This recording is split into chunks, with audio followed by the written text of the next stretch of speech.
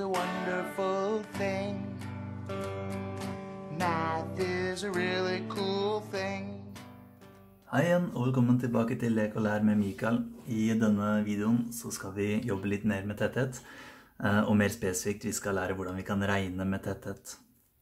Vi husker fra forrige video at når vi skal finne tettheten til noe, hva som helst, tettheten til et objekt, så må vi ha to tall. Vi må ha massen til objektet, altså hvor mye det veier, og vi må dele det på eh, volumet til objektet. Så uansett hva det er, eh, vi må finne vekten til tingen vår, hvor mye det veier, og så deler vi det på volumet til tingen vår, altså hvor stort det er. Da finner vi tettheten. Før vi går over til dette, så er det et par ting vi må repetere. Eh, det er ting vi har lært før, men det er ting som må sitte hvis vi skal regne med tetthet. Og det er det som heter omgjøring av enheter.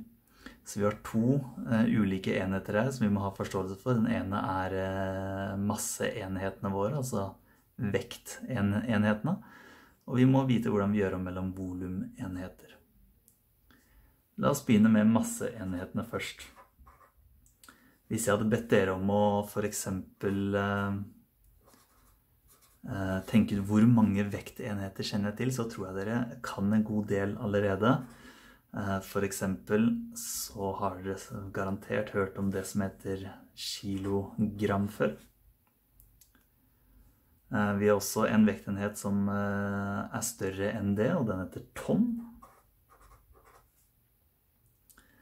Vi har en vektenhet til som er litt mindre enn det en kilogram er, og det er det som heter hektogram. Hvis dere har sett smågodt før, så vet dere at man måler smågodt i hektogram. Og dere har sannsynligvis garantert også hørt om en vektenhet som heter gram, naturligvis. Dere ser jeg har latt en, eh, et, et, lite mellomrom være åpent her. Det er fordi vi har faktisk en vektenhet som er imellom det som heter gram og det som heter hektogram. Eh, den har dere nok ikke hørt om, den er ikke veldig vanlig, men vi skriver den opp likevel, og jeg skriver den derfor i parentes. Det er en vektenhet som heter DAG. Eh, og den, det står for dekagram. Deka betyr ti, så dekagram er egentlig bare ti gram. Hekto for så vidt betyr et 100, så hektogram betyr 100 gram. Kilo betyr 1000, så kilogram betyr 1000, 1000 eh, gram. La oss se på hvordan vi kan gjøre om mellom disse, og dere har nok sett, eh, sett noe veldig lignende før, garantert.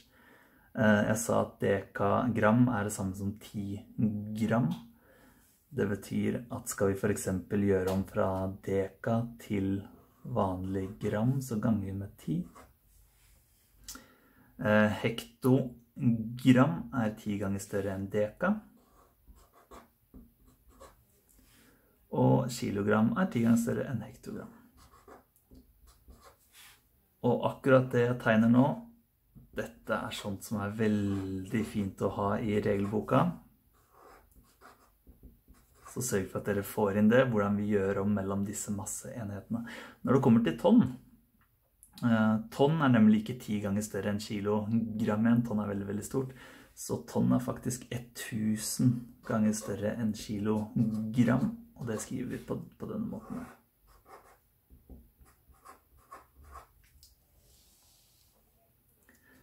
Ok, la oss ta og repetere kjapt volumenheter også. Dette bør dere ha i regelboka deres allerede, men vi ser på det likevel. Eh, fire volumenheter vi har gått gjennom før. Den ene er det som heter kubikkmeter. Så har vi kubikkdesimeter kubikkcentimeter og kubikkmillimeter. Um, og her var omgjøringen at kubikkcentimeter, en kubikkcentimeter er 1000 ganger større enn en kubikkmillimeter. Kubikkdesimeter er større, eh, 1000 ganger større enn kubikkcentimeter. Eh, og kubikkmeter er større, eh, 1000 ganger større enn kubikkdesimeter.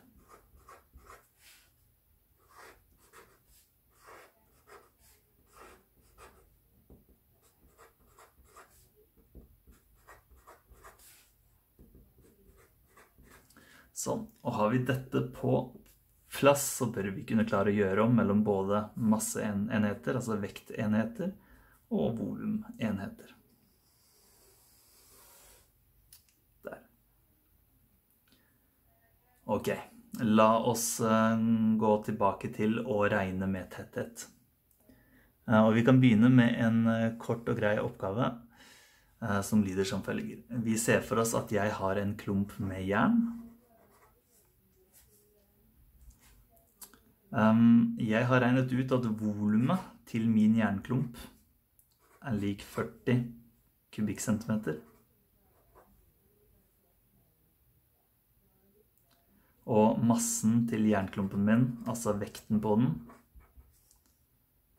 er 316 gram. Um, tettheten, formelen for tetthet står her, så vi skriver det at tetthet er det samme som masse delt på volum.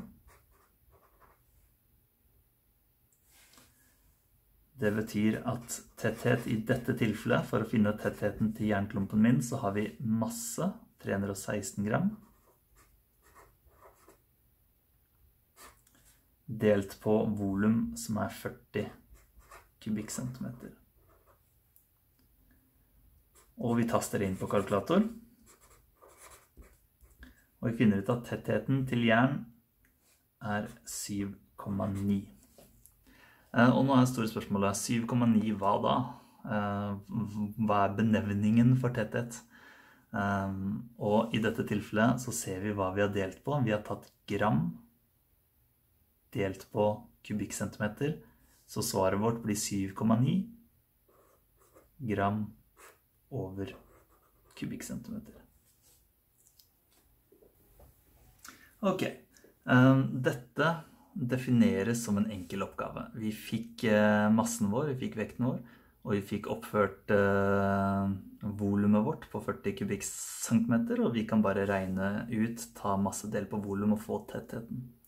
Eh, enda enklere var det fordi de enhetene vi hadde, gram og kubikkcentimeter, skal fargelegge de i rødt her, gram og kubikkcentimeter, de to enhetene hører sammen når vi regner med tetthet. Eh, det var veldig viktig at vi fikk de to oppført, fordi det er fullt mulig eh, når vi regner med tetthet å ta en vekt i gram og dele det på volumet kubikkcentimeter. Hadde volumet vårt vært oppført i f.eks. noe annet som kubikkmillimeter, så kunne vi ikke gjort det. Men gram og kubikkcentimeter hører sammen, og det er derfor jeg har fargelagt de i rødt her. Men det er et par andre enheter som hører sammen her også. I tillegg til at gram og kubikkcentimeter hører sammen, så kan jeg si at kilogram og kubikkdesimeter hører sammen. Så hvis vi har fått oppført en vekt i kilogram og et volum i kubikkdesimeter, så kan vi regne med de to også. Eh, og det er en siste, og det er at tonn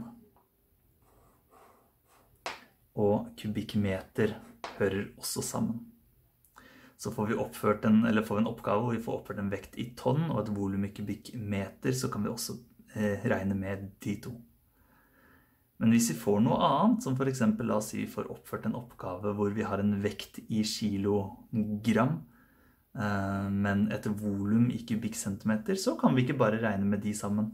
De hører nemlig ikke sammen i tetthet, og det kan dere se på fargen jeg tegner her, grønn og rød. Eh, de passer ikke sammen. La oss ta en sånn oppgave bare for å se hvordan det ser ut også. Eh, og nå skal vi se for oss at jeg har en klump med stål. Som er et annet type metall. En legering, mer spesifikt, uansett. Eh, vi har en klump med stål som har volum 200 kubikkcentimeter. Eh,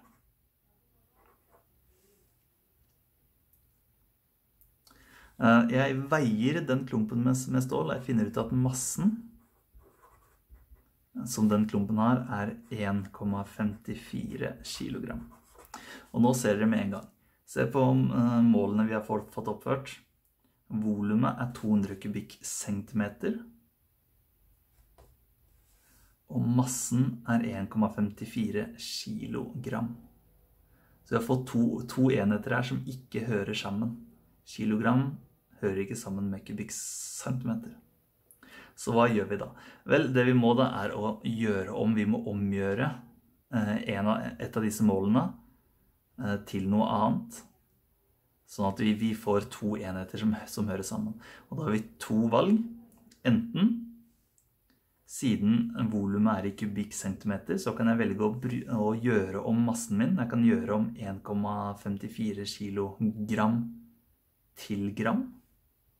Hvis jeg gjør det, så har jeg to som hører sammen. Gram hører sammen med kubikkcentimeter. Eller jeg kan gjøre det andre.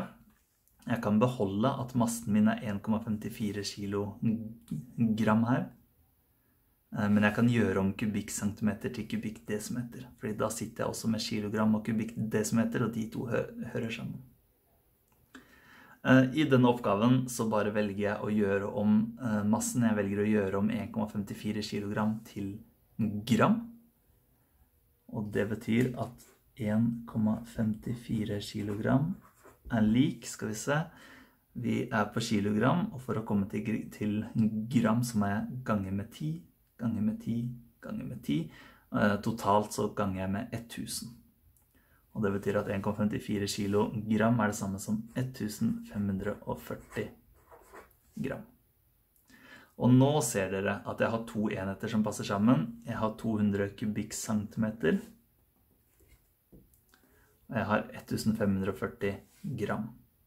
Og de to ser vi hører sammen, fordi begge to er farga rød. Så nå kan jeg finne tettheten. Tetthet